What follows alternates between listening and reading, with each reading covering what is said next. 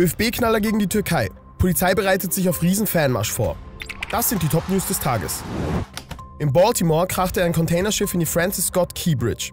Die über 2,5 Kilometer lange Brücke brach daraufhin komplett zusammen. Beim Schiff handelt es sich um einen unter der Flagge Singapur fahrenden Frachter namens Dali. Es sollen mindestens sieben Personen über Bord gegangen sein. Ein Rettungsteam sei mit Tauchern vor Ort. Die Kirche lockt junges Lehrpersonal mit 3400 Euro Mindestgehalt an. Knapp 123.000 Wiener Schüler werden derzeit von 1420 Pädagogen der Erzdiözese in Religion unterrichtet. Doch damit ist vielleicht bald Schluss. Im kommenden Jahr werden viele Religionslehrer in Pension gehen. Fast 40% des Lehrpersonals ist mittlerweile über 56. Um dem Lehrermangel entgegenzuwirken, startet die Kirche jetzt eine Werbekampagne. Großer Türkei-Fanmarsch bahnt sich an. Am Dienstag findet in Wien ein Freundschaftsspiel zwischen Österreich und der Türkei statt. Der Fansektor der Gäste ist komplett ausverkauft.